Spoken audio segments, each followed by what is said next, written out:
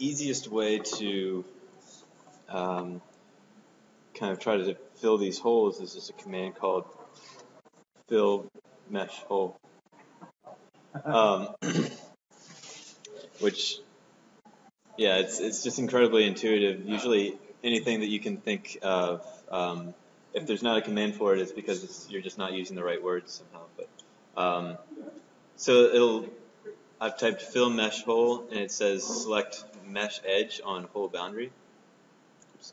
Um, and so I can, for example, click, um, let's say this is a hole, so we just click a mesh edge on this boundary. And it stitched something together. So it kind of filled in that. Um, but we can repeat that command. If you just hit spacebar or right click, it'll repeat the former command. See if we can keep. But that command, there's no way that that command is going to work with all of this stuff because this is just information that I want to get rid of. Um, and actually, um, so just like with with um, NURBS in Rhino, you can turn on control points um, for meshes. And I think that's probably the easiest way. I mean, if we wanted to just use the, the typical command um, to delete these mesh faces, what do you think that command would be called? Yeah. Um, and so then we can, you know, select mesh faces to delete. Um, and that's fine. Uh, So you're just, you're just holding down shift.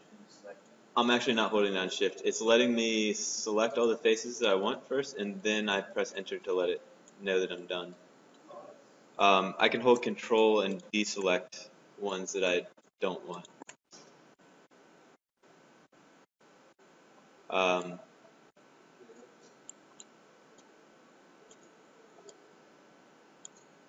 so when I make this crossing window from left to right, it'll only um, select objects that are completely within the window, like that.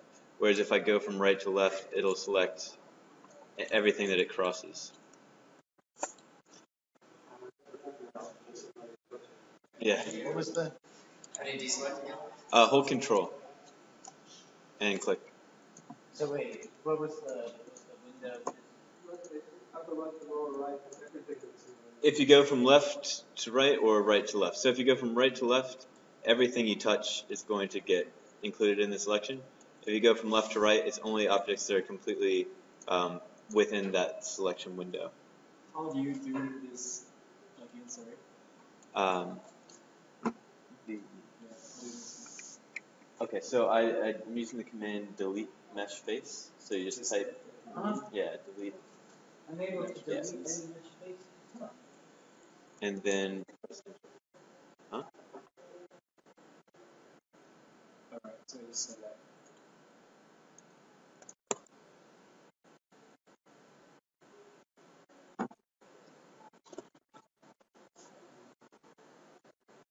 Okay, let me.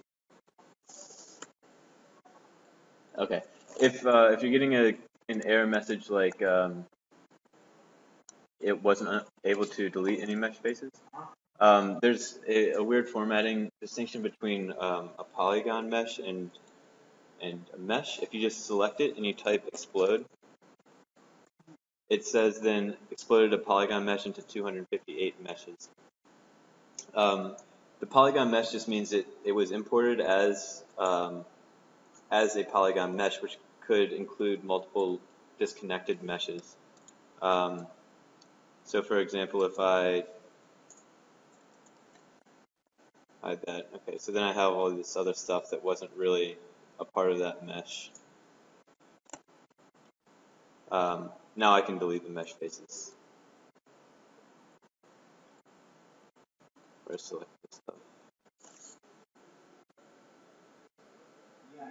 So wait a minute, you type explode, Yeah, just explode. yeah, just explode. You can explode almost anything. Oh, you know me well. That converts the, It converts the polygon mesh to a collection of individual meshes. Um, so if you if you had imported a file as, um, yeah, I I mean, so basically this was scanned at, not as one single object, but it's kind of multiple objects stitched together. It's it's actually not a really important point. Um, I'm gonna kind of I'm gonna delete everything except for this one mesh.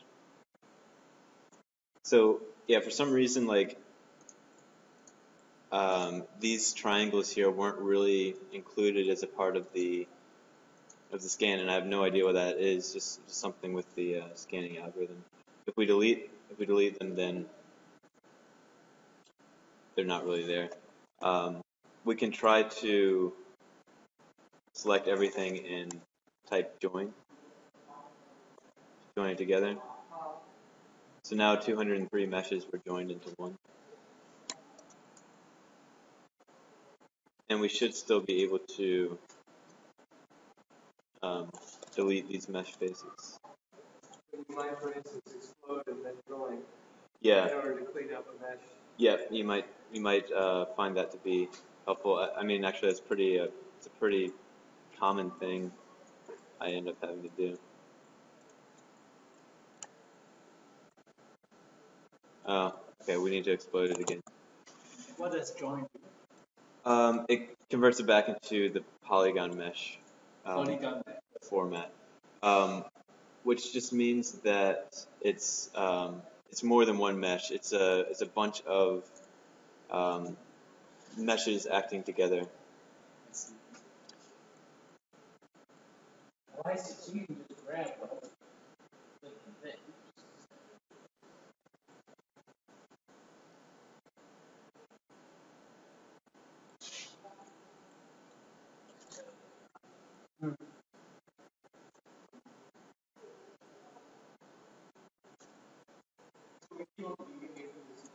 so you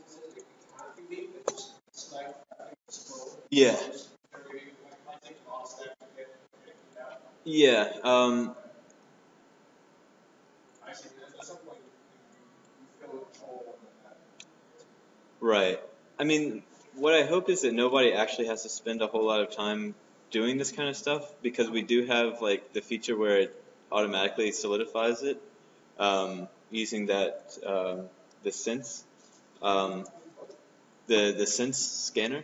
So that's why like um, these these are all perfectly cleaned already. Um, these these faces.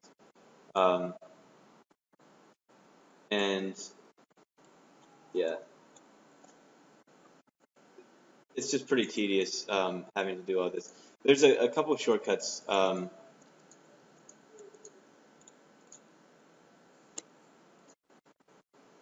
uh, and just like other things we should know about meshes is um, joining is not equal to welding.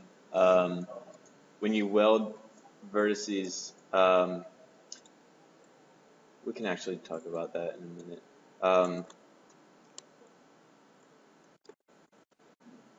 we can just type um, weld and give it an angle tolerance. We can just say 180 degrees. And it's going to um,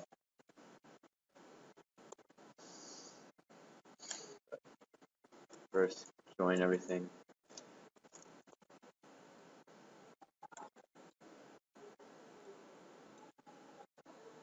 And welding, okay.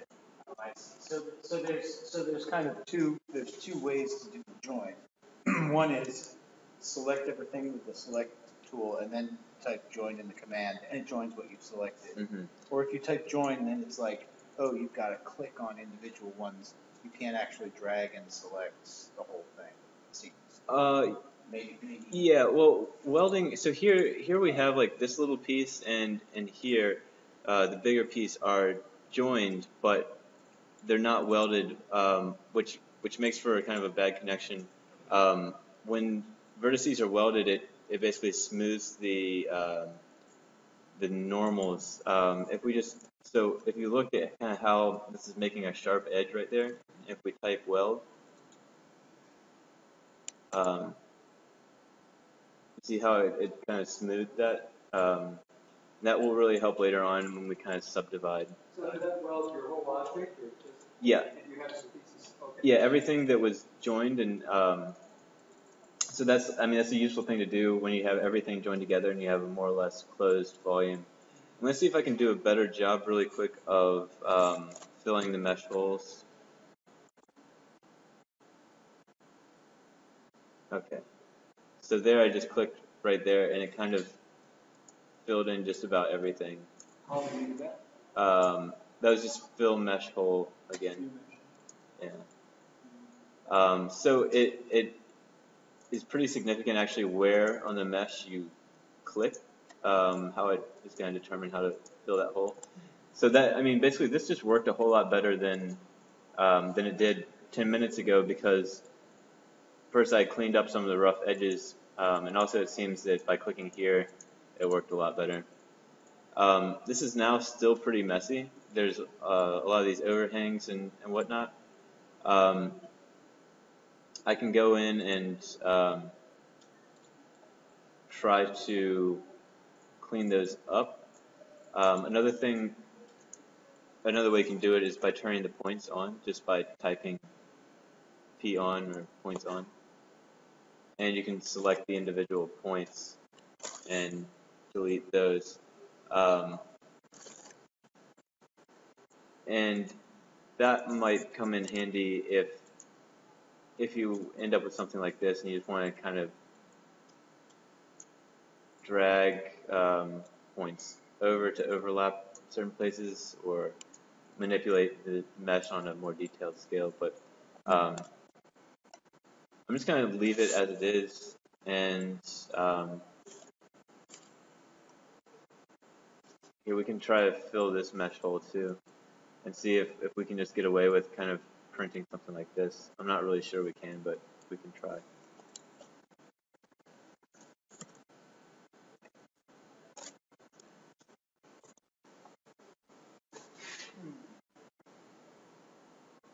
So, kind of closed. Um, one thing we could do if we wanted to make sure that we have a back here is uh, explicitly add in one mesh face between here and here. So like just make one little um, rectangle. So um, command um,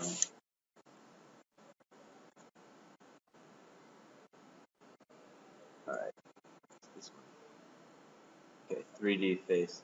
Um, so it's just going to add a polygon and I can just do it from these four vertices. Then I need to join and weld this. So now this is a part of my mesh. Now if I do um, fill mesh hole, it will um, preserve that input. Still pretty sloppy, but um, if, if I'm just trying to, as quickly as I can, just cap this in a way that it can 3D print. Um, so it's also useful to go back and forth between viewports or, or render modes, so just to see what this is going to look like. Hole, It's not a hole. What's what's happening is um, the mesh normals are flipped at this point, um, and that's what the kind of grayscale is showing you. Um, we can try to fix this uh, with a command called unify mesh normals, which then makes sure all the adjacent, as, as much as possible that adjacent meshes um, have similar facing normals. Um, yeah, basically that. Yeah. um, so it's now in, in better shape. Um, I- mean, we should be able to put this into Cura and get basically this out. Um, Is, is the bottom flat enough? Will, will it be able to sit, sit on a plate and get the first layer successful? Uh, yeah, no, I'm not. I, I wouldn't think that would be a problem um, because it's um, there's some variation here, but um, it will probably print the first layer uh, as you know not completely full, but um, then when it steps up, I mean nothing here is more than 45 degrees or even close, right? Um, to so 45 degrees being like the angle of uh, tolerance that it could build um, this, you know, cantilevers at 45 degrees. Um, I think it would actually be no problem to, to kind of realize something like this. So, so how do I, how do I fill in like a hole? Um, try just fill mesh hole. So, okay, You might have to make a bridge. uh, Right, you might want to make a bridge or two. Um, if you, oh, it's,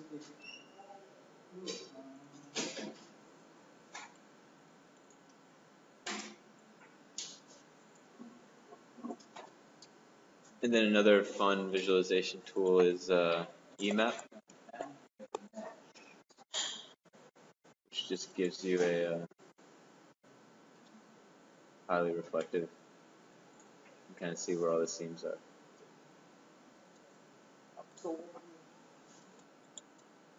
So I don't think there's any need to re-export this to um, Cura. We can just assume that it'll it'll work more or less, um, although it won't be perfectly clean. Um, but uh, yeah, let's just stop there with this and then go go to um, model creation. Um, and then what was I going to say about um, these guys?